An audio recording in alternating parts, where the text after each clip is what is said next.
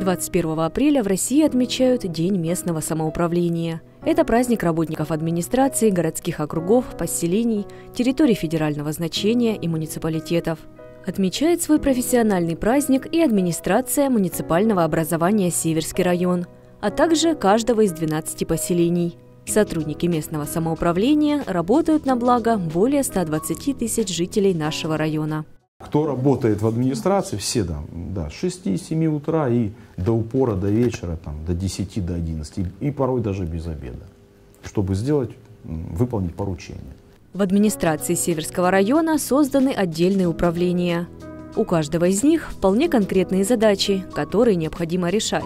Молодежная политика, образование, сельское хозяйство, гражданская оборона и чрезвычайные ситуации – организационно-кадровая работа. Вот неполный перечень направлений, которые охватывают сотрудники районной администрации. Важную роль играет своевременное участие в федеральных и краевых программах. Это уникальная возможность привлечь в местный бюджет дополнительные средства для улучшения жизни граждан.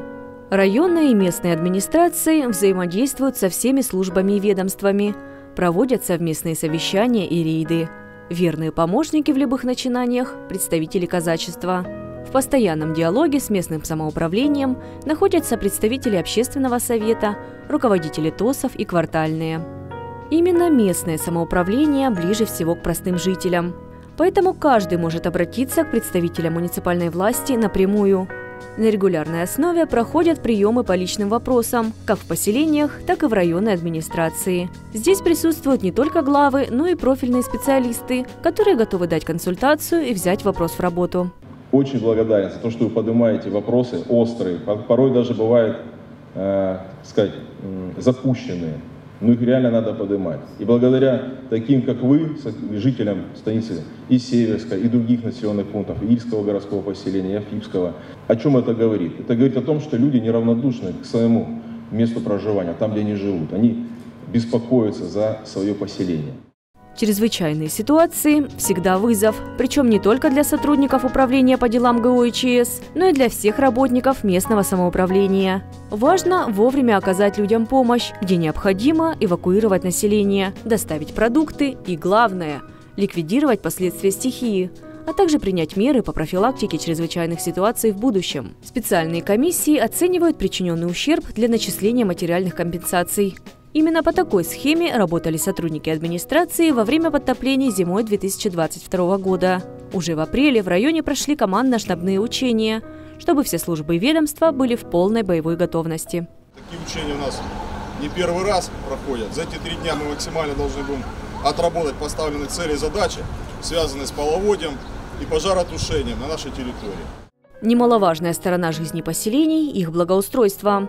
Помогает в этом краевая программа формирования комфортной городской среды. Благодаря участию в этом проекте в районе постоянно приводят в порядок все новые общественные территории. Не забывают в Северском районе и о санитарном состоянии. Субботники у работников администрации стали доброй традицией, позволяющей сделать каждое поселение чище и краше. Стараются разнообразить и культурную жизнь жителей района. Последние годы, связанные с ограничениями, внесли свои коррективы. Многие мероприятия перешли в онлайн-формат. Но когда эпидобстановка позволяет, для жителей организуют концерты, выставки и другие развлекательные мероприятия.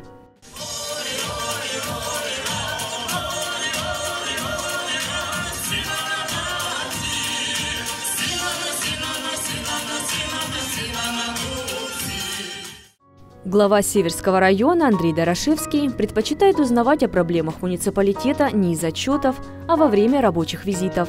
Такие объезды помогают понять проблемы и нужды в каждом поселении и отрасли.